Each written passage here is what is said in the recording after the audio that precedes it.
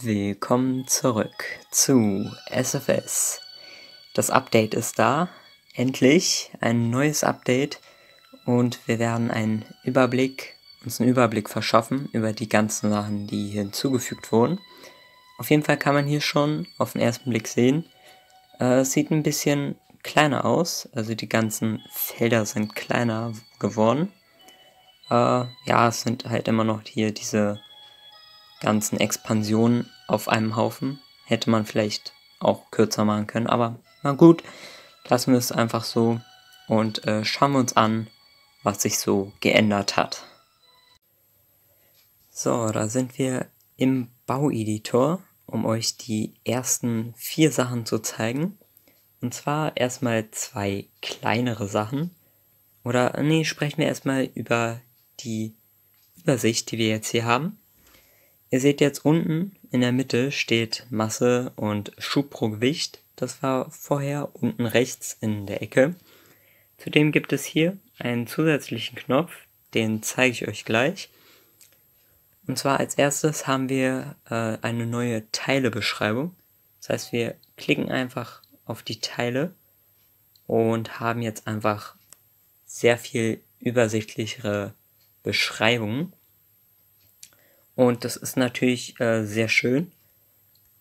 Und äh, ja, ich glaube, paar, paar Sachen wurden auch, also vom Namen her, verändert. Zum Beispiel hier seitlicher Steg. Vorher hieß das irgendwie Separator. Ja, jetzt steht da Steg.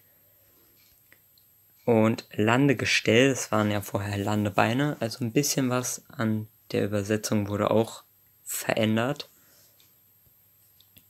Ansonsten sehe ich nicht wirklich was anderes. Es wurden halt keine Teile hinzugefügt. Das ist hauptsächlich jetzt so kleinere Features. Ja, jedenfalls äh, ist das erster Punkt. Die Beschreibungen wurden komplett überarbeitet. Kommen wir zu Punkt 2 und zwar einmal gedrückt halten und Jetzt können wir bestimmte Bereiche auswählen. Wir müssen nicht mehr alles einzeln anklicken, das geht auch noch. Aber wir können jetzt sowas machen, was natürlich äh, sehr nützlich ist, nicht unbedingt für mich, aber zum Beispiel für Personen, die was mit Teile-Clipping machen, wo sie dann sehr viele Teile benutzen. Und dann kann man es einfach an einem anderen Ort bauen, markieren und verschieben. Das ist natürlich äh, sehr schön und fällt einem auch nicht unbedingt gleich auf, deshalb habe ich es hier für euch erwähnt. Die nächste Sache ähm, ist natürlich auch sehr interessant. Also ich zeige es euch einfach. Nehmen wir uns mal hier ein Landebein und ich nutze mal lieber dafür die Symmetrie. Komm schon. So, und jetzt nehmen wir einfach, klicken es an und dann seht ihr hier einen neuen Knopf. Wenn wir da draufklicken, dann könnt ihr auch eingesetzt sehen. Und ihr seht, die werden ausgefahren. Okay? Die, die Landebeine werden einfach ausgefahren. Und bei Separatoren zum Beispiel ist es so, jetzt kann man die Separationskraft einstellen. Es geht von 0 bis 80. Und ich will mal hier gucken. Auch 0 bis 80. Und vielleicht einen größeren. Ähm, auch 0 natürlich und 120. Also es variiert immer noch, äh, je nachdem wie groß die halt sind. Aber das ist, es, es ist einfach unglaublich. Ja, also das ist wirklich, wirklich toll. Zum Beispiel beim Raketenbauen kann man jetzt gucken, hm, sind die Landebeine lang genug? Hm, nein, da muss ich dann was ändern. Dann nehme ich mir doch einfach größere Landebeine und mache das dann so. Und so. Und das reicht auf jeden Fall. Also das ist wirklich unglaublich. Das ist super, super toll. Und äh, ja, das funktioniert natürlich hier auch mit den Solarpanels. Oh, ausfahren und ausfahren. Und dann kann man das auch so schon ansehen. Das ist auch sehr toll. Äh, die Sache ist die, das kann man leider nicht bei mehrere machen. Ihr seht, das leuchtet auf, aber es gibt keine Option dazu. Das ist ein bisschen schade. Also ich glaube nicht, dass das so schwer gewesen wäre. Aber na gut, man kann nicht alles haben. Und äh, eine Sache noch, also wir haben jetzt diese Funktion bei, bei Solar, äh, Solarzellen, bei Landebeinen, bei Triebwerken, dass man die halt schon vorher anmachen kann. Und wir haben auch noch die Sache, dass wir den Treibstoff in einem Treibstofftank verändern können. Wir können jetzt zum Beispiel hier gar keinen Treibstoff reinmachen. Dann hat es immer noch eine Masse von 2 Tonnen. Der Tank wiegt halt selber so. Und wir können das hier bearbeiten, wie viel Treibstoff da drin ist. Und das ist, das ist wirklich cool. Also so könnte ich zum Beispiel auch meine Atlantis-Raketen weiter verbessern, indem ich halt dann immer so ein klitzekleines Stück an Treibstoff wegnehme und gucke, wie effizient ich das zum Beispiel machen kann. Und das ist natürlich äh, super, super cool. Und finde ich auch eine sehr, sehr tolle Errungenschaft. Also, ja, dass es im Spiel ist, dass man sowas nutzen kann. Kommen wir zur letzten Sache und wahrscheinlich das, worum es in dem Update überhaupt geht. Und zwar um Stufen. Ich habe das hier mal aufgestellt. Hier sind einzelne Stufen. Die habe ich schon gemacht, aber ich mache die nochmal weg. Und zwar so. Also wenn ihr startet, ist es so. Klickt ihr einmal drauf, könnt ihr aufs Plus drücken und dann habt ihr eine neue Stufe. Und je weiter die halt unten ist, desto früher wird sie ausgelöst. Zum Beispiel für die erste Stufe will ich, dass das Triebwerk angeht. Dann haben wir eine zweite Stufe, und da möchte ich, dass der Separator und das Triebwerk gleichzeitig einmal separiert und das Triebwerk aktiviert wird. Und dann machen wir noch eine Stufe, dann machen wir diesen Separator rein. Und noch eine Stufe machen wir den Fallschirm rein. Es muss nicht gemacht werden, man kann es immer noch manuell alles machen. Es gibt also keinen Nachteil davon, sondern nur Vorteile.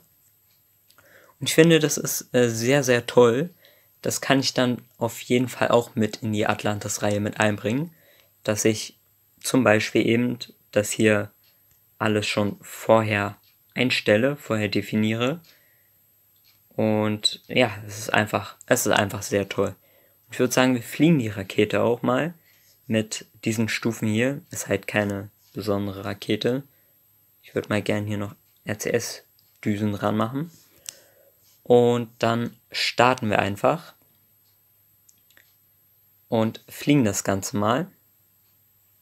So, also Stufen. Haben wir hier äh, das unterste Triebwerk. Los, jetzt ist das Triebwerk an. Jetzt machen wir hier nur noch an und dann fliegen wir auch schon. Und ich glaube, ich gehe noch mal kurz zurück. Ich will nämlich ein bisschen weniger Treibstoff reinmachen. Wir könnten natürlich jetzt einfach so einen Treibstofftank wegnehmen. Aber nein, haha, ich nehme einfach den ganzen Treibstoff hier raus. Und hier ist dann noch der ganze Treibstoff drinne. Gut. Machen wir einfach so. Haben wir einen vollen Tank. Und dann, oh, ihr seht unten links, ja, wir haben nur noch ein Drittel. Wir haben ja zwei Tanks komplett leer gemacht. So, Stufe aktivieren. Und, äh, achso, ich habe es eben, es eben angemacht dann die Stufe aktiviert, dann ist wieder ausgegangen. Also ja, müsst ihr halt ein bisschen, ist ein bisschen gewöhnungsbedürftig. Ich bin ja hier schon ein etwas älterer Hase, kann man so sagen. Ich bin ja schon seit der 1.35 dabei und muss mich halt immer wieder an neue Sachen gewöhnen. So, und dann drehen wir uns einfach weiter. Der Treibstoff ist fast leer. Das heißt, wir können Ah, ich will ja, dass ihr es sehen könnt. So. Jetzt ist der Treibstoff leer. Wir klicken auf die nächste Stufe. Und ihr seht Separator und Triebwerk gleichzeitig. Das ist absolut, absolut genial. Also, wow. Sehr gut gemacht, Developer. sehr schön und vielen Dank. Das ist unglaublich. Also, ja. Ich bin ganz erstaunt und es macht mir auch sehr viel Spaß, wie ihr sehen könnt. So, dann machen wir auch mal Trittwerk aus und warten wir, bis wir auf der richtigen Höhe sind. Und es gibt auch eigentlich noch ein paar mehr Sachen zu zeigen. Ähm, dazu kommen wir gleich. Ich will erstmal erstmal hier Zeitbeschleunigung. Verließ was? Verließ die Atmosphäre der Erde, okay. Also äh, die Übersetzung, ja, wurde eigentlich komplett nochmal überarbeitet. Und jetzt machen wir es mal so. Und klick. Und da sind wir weg. Und das kann ich natürlich noch nicht machen, weil das halt im Vakuum ist. Aber jetzt gehen wir erstmal wieder zurück und schauen uns an, was es noch so gibt. Für die nächsten beiden Sachen brauchen wir zwei Raketen und dazu habe ich auch schon zwei gebaut und geladen. Und zwar können wir jetzt äh, ohne Karte, also Karte brauchen wir nicht, die andere Rakete auswählen und damit etwas machen. Wir haben erstmal hier Kurs setzen auf, das ist wie navigiere zu, wie vorher. Ist natürlich alles ein bisschen überarbeitet. Dann haben wir wechseln zu umbenennen und Mission beenden. Und umbenennen ist sehr, sehr cool. Wir können jetzt einfach hier Rakete wegmachen und keine Ahnung, ähm, ich hinschreiben. Super. Jetzt steht da ich und wir können ja auch mal wechseln. Wechsel zu. Und jetzt haben wir hier die andere Rakete. Also das ist auf jeden Fall eins. Oder es sind praktisch schon beide Sachen. Wir können ohne die Kartenansicht andere Raketen wählen und zu denen wechseln. Das ist zum Beispiel bei meiner Mondbasis ganz nützlich. Also jetzt könnte ich locker noch ein Übersichtsvideo machen, weil es so viel einfacher ist, durch die einzelnen Module durchzugehen. Äh, was mir so ein bisschen fehlt, ist so, so, so ein sanfter Übergang. Wisst ihr? Wie wenn man hier auf der Kartenansicht so einmal anklickt und fokussieren macht, das zoomt dann so rein. Und hier könnte man es ja vielleicht so machen, dass es so, so rüberwischt. Ja, also es wäre ganz cool. Ist aber auch so schon sehr toll. Man braucht jetzt nicht mal die Kartenansicht, um Kurs auf diese Rakete zu setzen. Auch wenn das jetzt hier keinen Sinn macht. Und man kann sie halt umbenennen. Was halt auch recht gut ist, weil man dann ein bisschen besser die Übersicht behalten kann. Wie zum Beispiel eben bei meiner Raumstation und bei meinem Satelliten. Die haben ja ungefähr denselben Orbit wenn ich das eine einfach Satellit nenne und das andere eben Raumstation, dann werde ich die immer auseinanderhalten können.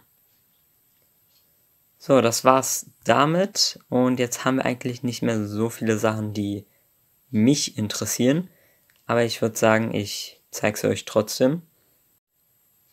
So, und zwar, wenn wir hier auf Einstellungen gehen, sind auch erstmal die Sachen wieder, äh, also hier sind neue Knöpfe natürlich und zwar wurde auch eine neue Sprache hinzugefügt. Und zwar Koreanisch. Ich weiß nur nicht, welche davon Koreanisch ist. Äh, ja, ich kenne mich nicht so gut mit Sprachen aus. Aber auf jeden Fall wurde Koreanisch hinzugefügt. Und natürlich die Sprachen, also die Übersetzung, wurden verbessert. Was natürlich ganz toll ist. Und es gibt so eine Sache für äh, BP-Editor, also Leute, die die Baupläne bearbeiten oder eben auch Planeten-Packs erstellen. Da wurden noch einige Sachen geändert, mit denen ich mich nicht wirklich auskenne. Deshalb habe ich das hier nicht erwähnt. Und ja, das war's dann auch mit dieser Übersicht über das neue Update und was alles so hinzugefügt wurde. Ist auf jeden Fall sehr spannend zu sehen, wie sich das Spiel so entwickelt. Und ich finde, das geht schon in eine richtig gute Richtung. Und ich weiß nicht, also ich werde wahrscheinlich noch eine Menge damit machen. Ich werde sowieso noch eine Menge damit machen. SFS Kolonie geht ja auch noch weiter. Und ja, wir sehen uns dann einfach im nächsten Video wieder und tschüss.